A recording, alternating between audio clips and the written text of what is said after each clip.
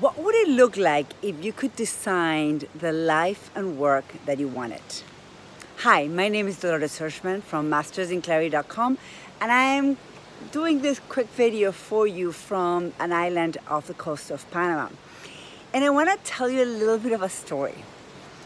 It was years ago when I imagined what would it look like if someone were to pay for my work?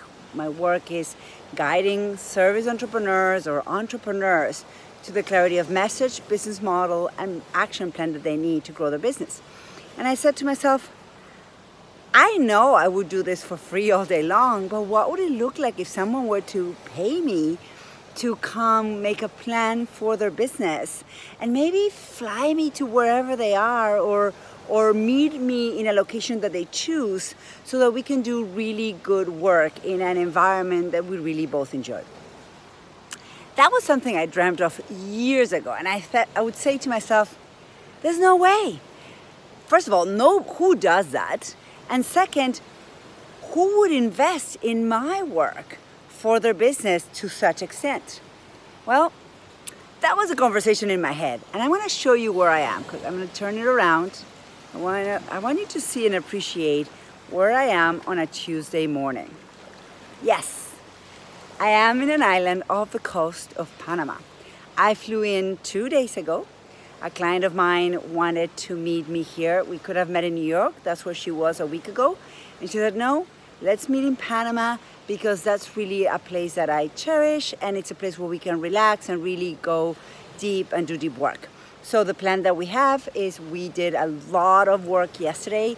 We spent pretty much the whole day in a beautiful environment um, in Panama City overlooking the ocean and we just used papers and post-it notes and markers and we literally kind of wallpapered the main wall and set up her goals and her business for 2019. Now, today we are in what I call the digestion day. What that means is that we are taking a day in, not a day off, a day in. And that means that we chose a place, a location where we could relax for the whole day. We just arrived to the island, we went for a swim. Now we're gonna go for lunch in just a little while.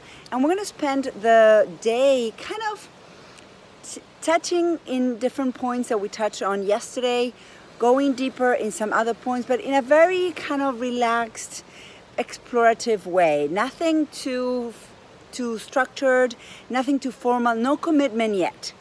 And then we'll go back tonight, and then tomorrow we'll go back to the drawing board and we're going to kind of see what simmered from the last two days, what stayed with her from our first day of ideation to today, our day of digestion and going in and kind of checking in with ourselves and see what part of this plan actually feels really aligned and what part doesn't. And then tomorrow we're gonna just go down to say, okay, what is our plan, right? And we're gonna make a 12 month plan and probably a 24 month plan as well. So years ago, I would only dream of doing this, but it took me about three to four years to realize this dream. And this, this week is one example. And I do this um, also, people fly into me or I fly to other locations as well.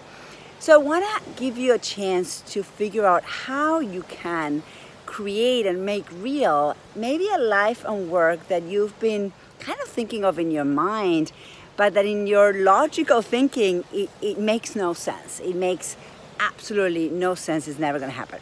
So here are three little tiny exercises I'm going to give you to do right now. I'm going to see if I can find somewhere I can sit. Let me see.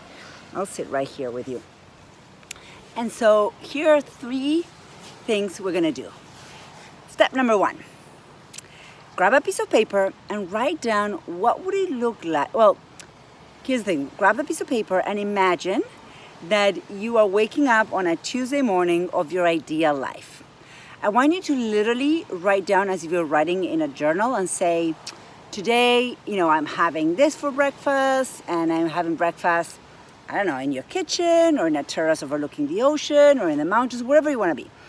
And then write down everything that's going to happen that day. Here's what I want you to imagine. Imagine that you're living it, but go down to the details. What are you wearing? Who are you having your meals with? Um, what kind of work are you doing? Uh, what kind of books are you reading? What kind of fun are you having? Like, what is your fun life, right? Like, you can say, oh, well, last night I had a great time doing X, Y, Z. Um, and where in the world are you? The more detail you give it, and please do not judge yourself, just go for it, whatever comes up. The more detail you give it, the more it can actually feel real and, and, and, and, and kind of engage your five senses. Now, step number two I wanted to write down all the things that you love doing. Things that maybe you take for granted, or maybe people ask you for help and you give help in this way over and over again. Kind of things that you do for free all day long. Just make that list. And now I want you to, step number three, I want you to make a list next to the list of things that you would do for free all day long what kind of jobs or what kind of, let us put it this way, needs would those things um, fulfill? For example, I don't know. I have spent my life helping people figure out the mess in their head. When someone was like, well, I, you know, I know what I want to do, I just have no idea what is the first step. I would love that because for me it was like a puzzle that needed to be built. So I would help them break down the puzzle pieces of their thoughts or the project and then kind of make a plan of action and align things and see what made sense and how to go about it. I've done that since I was very little. Um, and so for me, it took me quite a few years to understand that that was something that people actually needed, especially people um, starting or running businesses or looking for a next stage of growth, that there were things that they could sense they, they, they could do or that wanted to do, but they just didn't know how to start. So that was my way of matching what I would do for free all day long to uh, some need in the world.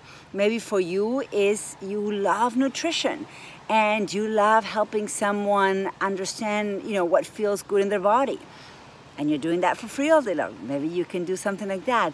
Or maybe you love, I don't know, you have a deep knowledge in accounting or taxes or travel.